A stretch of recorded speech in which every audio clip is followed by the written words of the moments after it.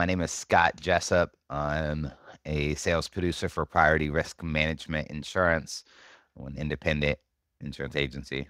We've been using Canopy Connect since I started and been using the forms recently. A lot of times I would have to ask several things. So we used the driver information, so names, date of births, driver's license numbers, and then we've been asking like occupation, that kind of stuff, things that we ask anyway. But then generally there's other information that I still need from the client, like age of roof of the house. Are there any claims in the last five years? Do they have any dogs, trampolines, things like that? So using that forms, it makes my job so much easier because then I don't have to send a Canopy Connect and then afterward follow up with them. Hey, I still need this information.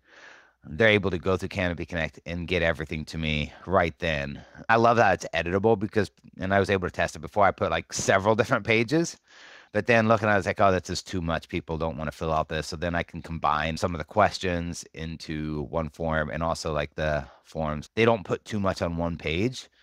So it's not like people get overwhelmed, like, oh, there's only two things here. So it's been really great for like my clients and they're getting things to me.